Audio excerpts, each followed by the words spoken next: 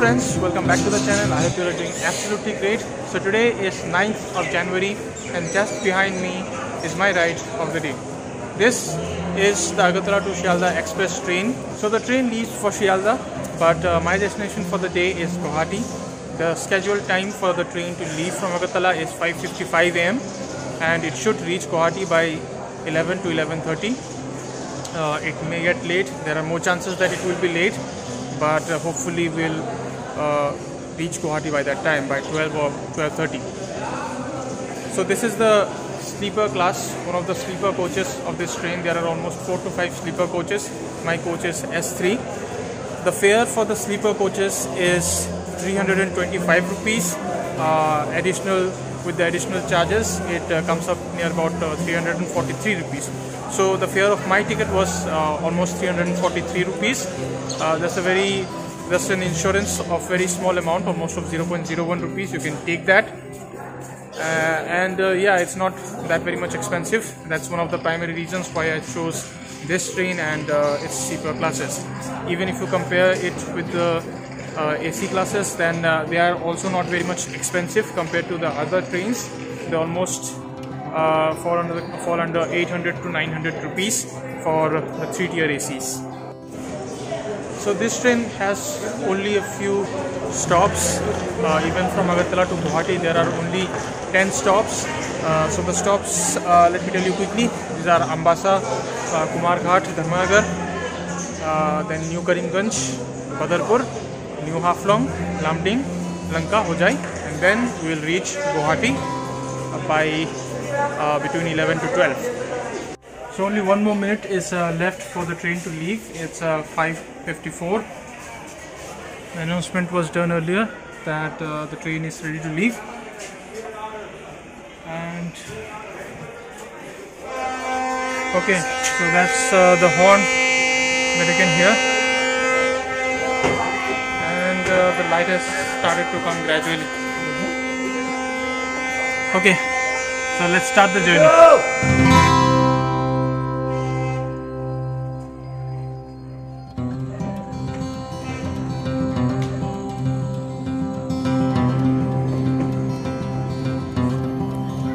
And here starts our day long journey. Must say, the winter morning views were a treat to watch. Everything was covered in fog and it was looking amazing.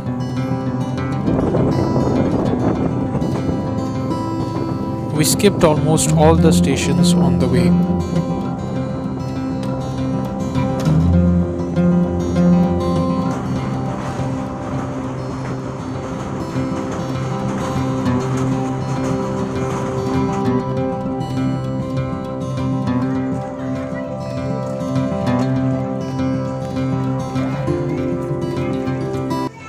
So this is our first stop in our day-long journey. Uh, this is Ambasa railway station. The train will uh, halt here for merely two minutes. Yeah, so it's a busy station and uh, lots of people board from this station. The train won't stop here for longer.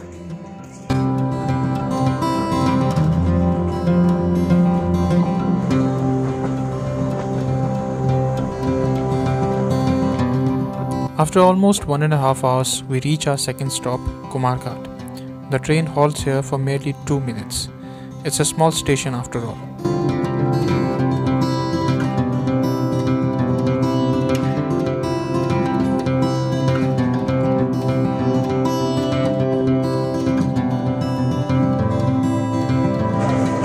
So we are almost 139 kilometers ahead of Agartala and this is Dharmanagar railway station. So this is the oldest railway station in Tripura and arguably one of the busiest. If not busier than Agartala, it's almost as busy as Agartala. Often called as the gateway of Tripura, particularly through railways because it is almost the last railway station. It is not the last, but uh, the last major railway station in Tripura. The last is Churaibari, but uh, all the trains which come from uh, rest of India and uh, from Silchar and other parts of Lower Assam, they mainly halt in this station, and thus this Dharmanagar railway station serves as a very major and important railway station.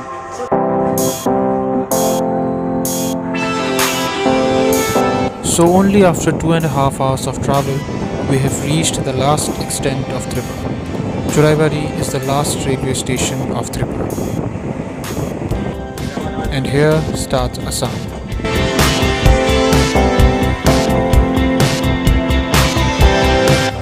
Unscheduled railway crossings like these are quite common in Northeast as we mostly have single lines of tracks here.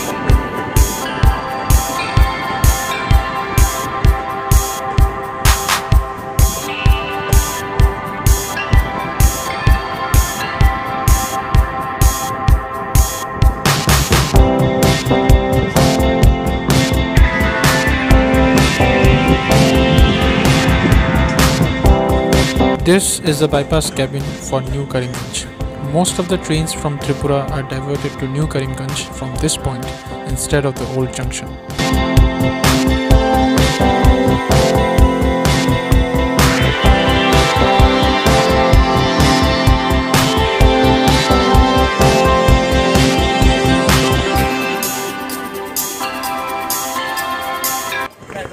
It's 10:13 now, and uh, it's a bit raining.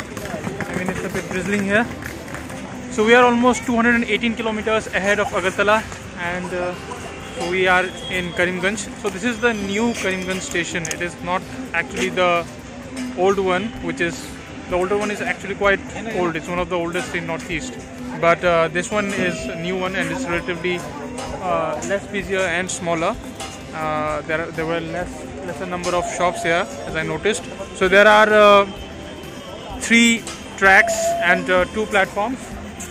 Uh, as what I can see, there are no overbridges or no foot, footbridges in this uh, station.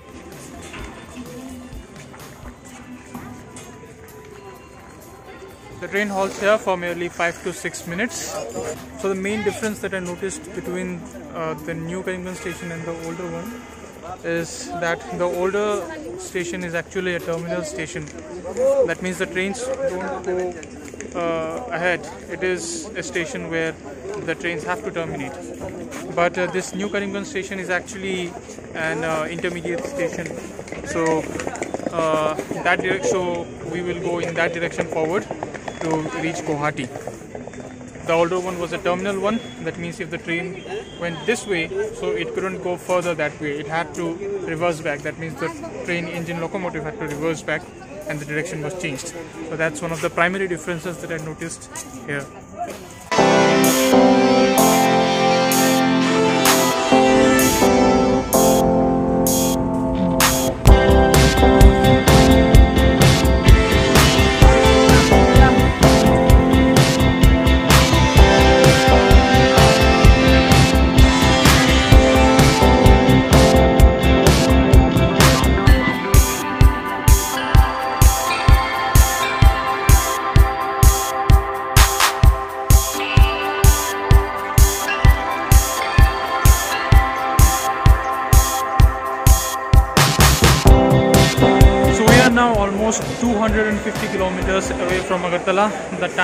Is 11:10. The train is actually running ahead of its time. It was supposed to reach here by I think 11:30 to 38, but uh, it has reached almost 20 to 30 minutes earlier. So this train particularly will halt here for uh, uh, almost 30 minutes. So this is one of the biggest stations in northeast India and also one of the busiest. Over 30 trains halt in this station which come from various regions like Agartala, Silchar, Guwahati, etc. So coming from uh, Agartala, Badarpur is probably uh, the first station where you will get uh, a lots of uh, shops and various options for uh, you know foods as, as uh, lots of stalls and restaurants are available. So here what I took a plate of rice which costs uh, 40 rupees. So it has some beans and egg and as you can see good good amount of rice. So while traveling I usually prefer to eat light. So this is what I opted for. Some other food options are like puri sabzi and uh, roti sabzi are also there. Parathas are also there and various kinds of snacks are also available. So as we have reached Badarpur, now it is also the time that uh, a second locomotive, that is a second engine will be added to the train as from now on there are no more plains there will be mostly hills. So yes we uh, will enter Haflong uh, which is the only hill station of Assam. So that's quite a hilly place. And uh, last I visited there seven years back it looks amazing. It looks spectacular. I hope uh, we will be able to uh, get that glimpse. And uh, yeah so for that two engines that is two locomotives are added to the train because one locomotive isn't actually enough to carry the whole train forward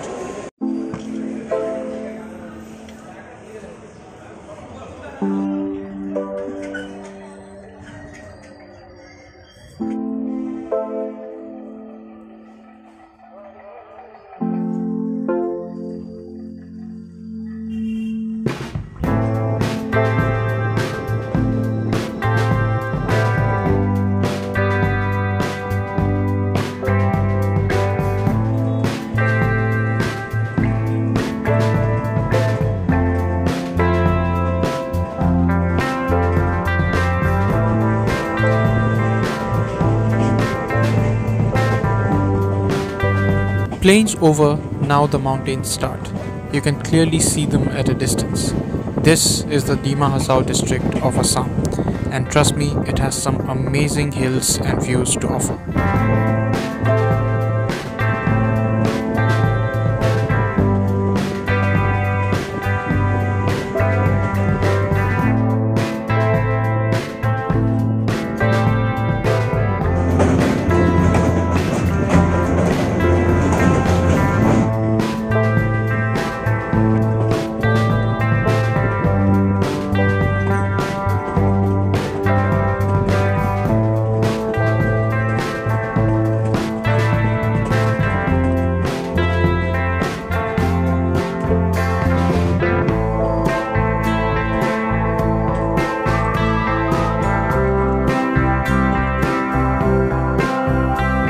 This has to be one of the most beautiful train routes ever.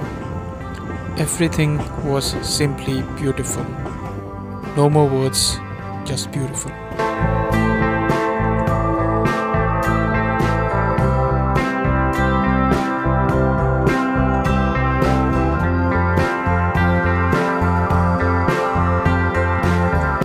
So we are now at uh, Haflong railway station and uh, the train is actually running ahead of its time. It was supposed to reach at uh, 250 but uh, it surprisingly reached at 240. Uh, so it's 10 minutes earlier. So this is the new railway station at Haflong. The older one is called Lower Haflong which is actually not functional. So 7 or 8 years back it used to be called as Lower Haflong but now it's called New Haflong. So yeah, the train will halt here for uh, some 5 to 10 minutes. And the moment you arrive at this station you will see that this station is filled with uh, shops and vendors and stalls selling all kind of stuffs. You know mainly fruits oranges pineapples puri sabjis all kinds of things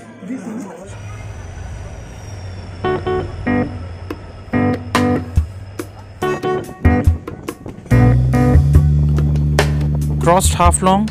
now it's time that we gradually say bye to the hills and get back to the plains. But before leaving the hills, there's one last glimpse of them, and it was amazing.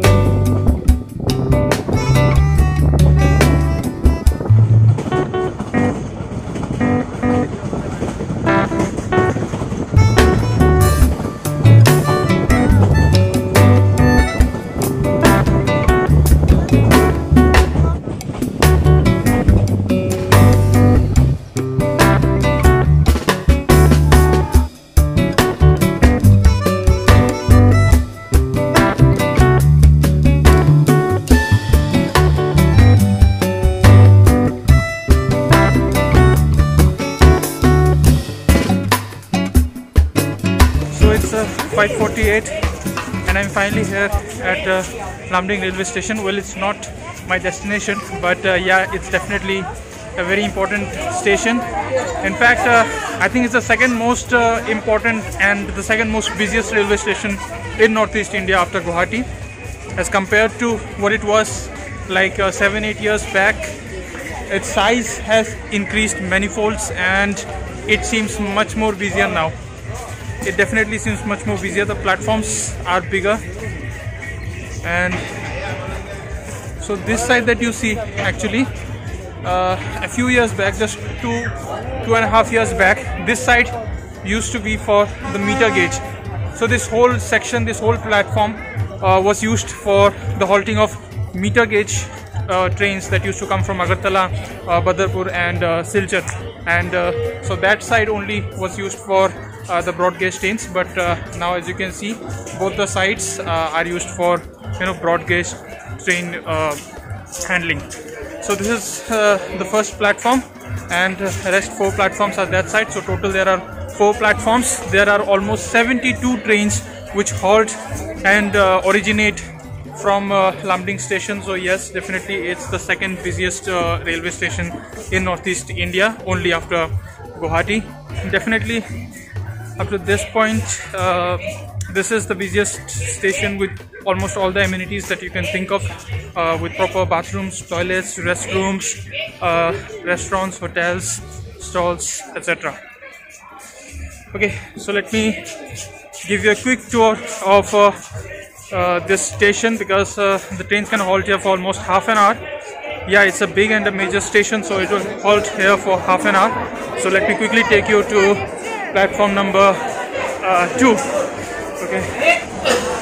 Okay so this side is uh, platform number 2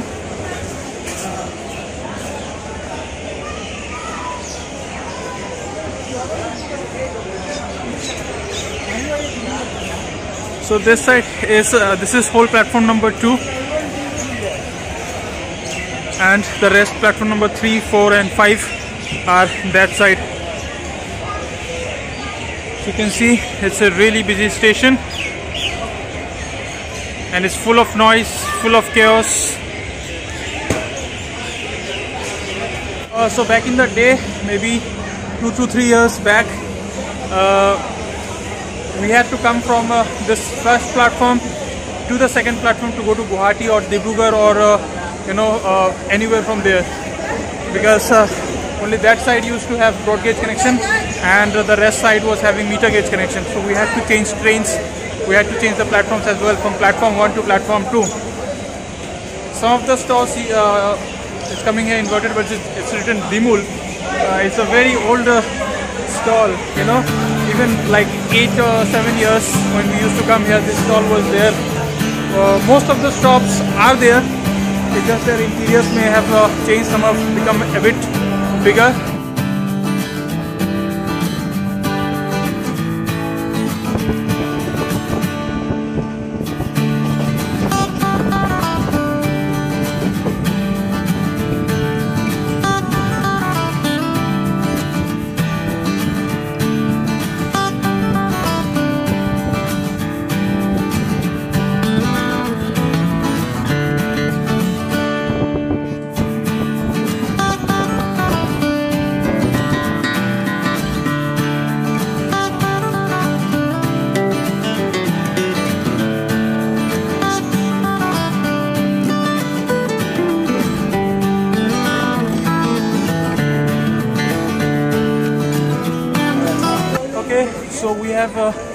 reached uh, Guwahati station and uh, it's exactly 10:42 p.m. It was actually the scheduled time and it's exactly on time. It's really surprising because because it doesn't really happen quite often. You know, थोड़ा बहुत train late हो ही जाता है. It gets uh, late by few minutes, sometimes by few hours also. But uh, today the train was exactly on time. So this is the train just behind me, the Kanchenjunga Express, Agartala to Sealdah. My coach number was uh, S3. Okay, so let's uh, get going now. So we'll have to go towards uh, left from here. Okay, let's go.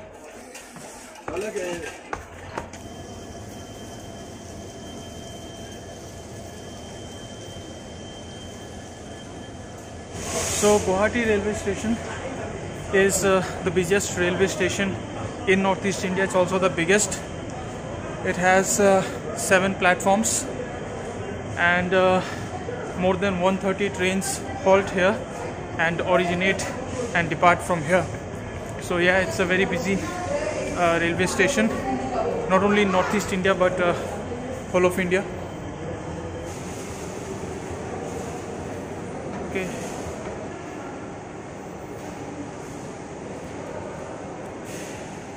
okay so this is the main platform of uh, Guwahati railway station. It definitely has the biggest uh, platform among any of the railway station here in northeast india.